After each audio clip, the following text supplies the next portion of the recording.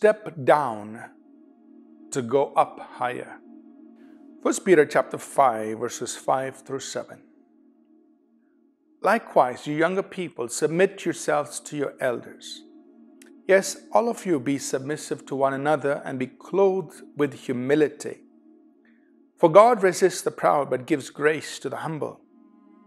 Therefore, humble yourselves under the mighty hand of God, that he may exalt you in due time, casting all your care upon him, for he cares for you.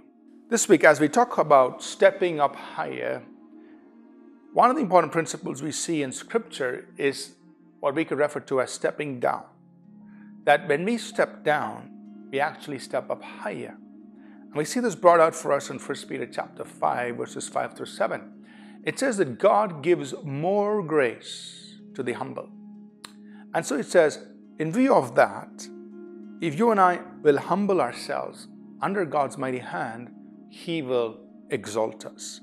So, in one sense, if I step down before God, if I humble myself before God, I will become a recipient of more grace because God gives more grace to the humble.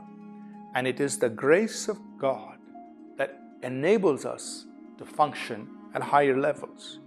So the higher we go, the lower we step down before God. The higher places of honor that He brings to us, the more we humble ourselves before God. And the more we humble ourselves before God, the higher He lifts us up into places of honor.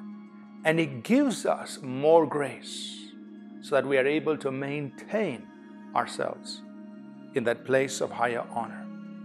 And so, this is the dynamic we see in the way God works. You humble yourself before God, and He exalts you.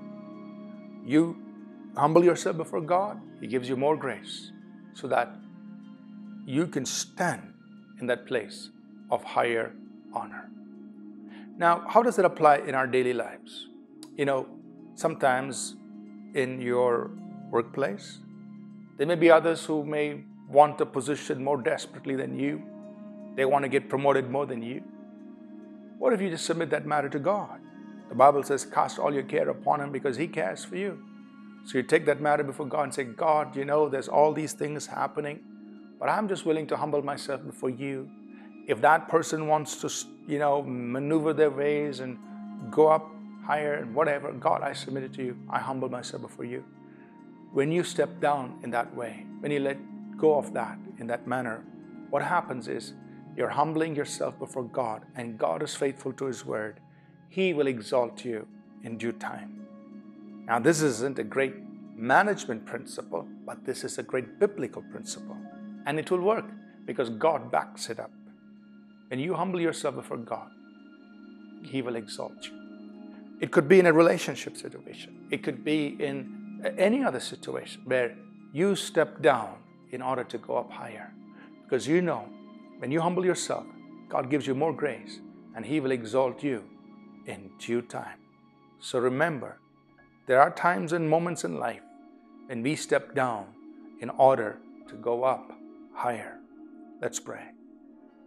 Father, we ask that you will help us understand this truth that you give more grace to those who are humble.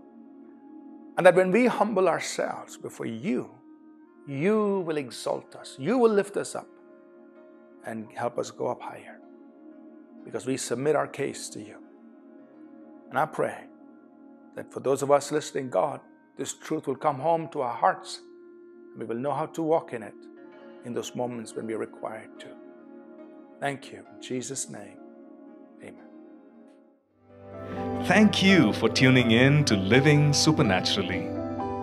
For more resources to strengthen your spiritual walk, please visit apcwo.org.